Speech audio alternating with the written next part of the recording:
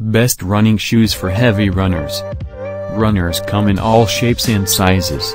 Heavy runners are not necessarily overweight, nevertheless, heavier runners will need a higher amount of cushion in order to feel the same comfort as a lighter one.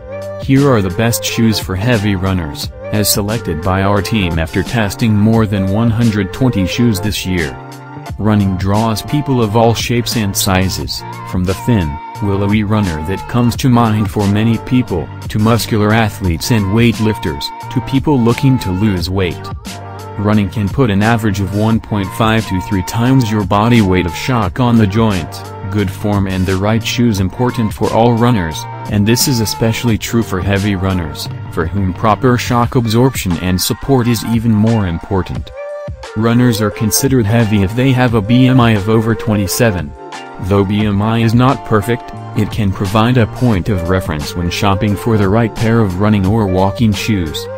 Here is a selection of running shoes that can help heavier runners offset the high impact of running. We have a guide about losing weight through running which you should check out. The Ghost 15 is a supremely comfortable daily trainer with a high drop which makes it most suitable for heel strikers.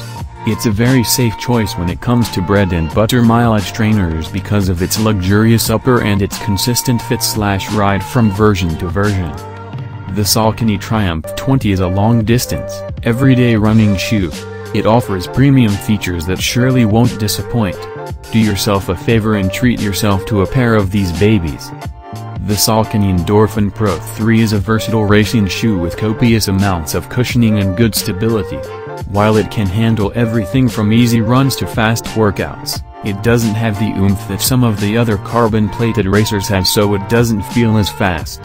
Version 3 has a lot more foam and a wider base, making it softer and more stable. However the new minimal upper runs a half size too small.